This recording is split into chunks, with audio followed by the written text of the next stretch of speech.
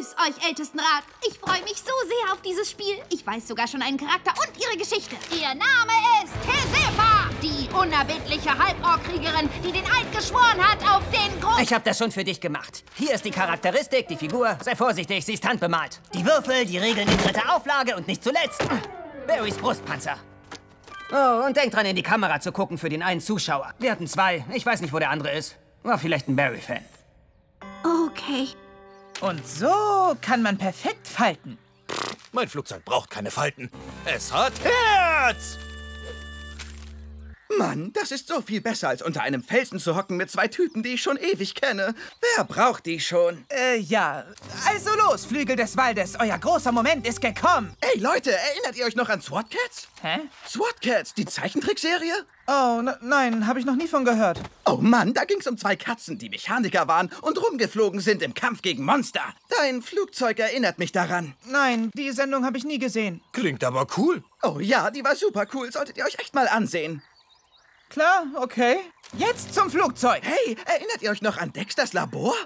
Ihr seid in der durstigen Echse, einem kleinen Gasthaus, das verschiedene Charaktere beherbergt. Ein freundlicher Barde bemerkt eure abenteuerliche Kleidung. Latida, tita, dilida. Dein Schwert lässt mich vermuten, dass ihr auf der Suche nach dem Koboldschatz seid. Ich werde euch verraten, wo er ist, wenn ihr mir eine Seite für meine magische Laute besorgt.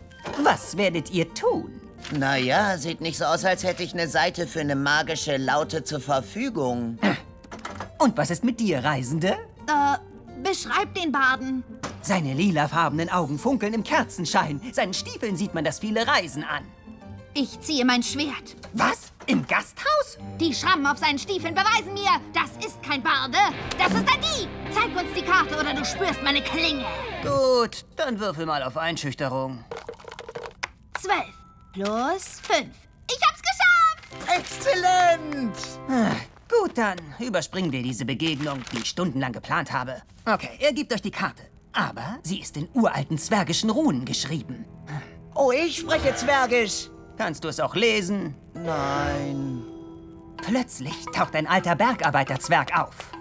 Was sind das etwa zwergische Runen? Solche Runen habe ich ewig nicht mehr gesehen. Ich lese sie euch vor. Das kostet aber. Hm, das klingt sehr verdächtig. Würfel mal auf Einschüchterung. Ha! Wow, der ist ganze zwei Reihenhausgärten weit geflogen. Ed, Ed und Eddie! Jetzt ist es mir endlich wieder eingefallen. Kennt ihr die Sendung Ed, Ed und Eddie? Nein. Oh, die solltet ihr euch echt ansehen. Ihr erinnert mich total an diese Sendung. Also an die und an Deckname Kids Next Door. Kennt ihr diese Sendung noch? Ah, nein, erzähl uns davon. Endlich seid ihr beim Schatz. Aber dort wacht ein säurespuckender Hundertfüßer. Was werdet ihr tun? Wenn ich seine Säurespucke trinke, würde ich dann seine säurespuckenden Kräfte bekommen? Nein, du verlierst auf der Stelle. Hm, egal was ich mache, ich verliere doch immer auf der Stelle. Weißt du was? Ich mach's einfach. Ich trinke die Säurespucke.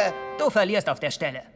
Nein! Und was machst du? Äh, ich schwinge mich mit meinem Seil von der Decke und greife ihn von hinten an.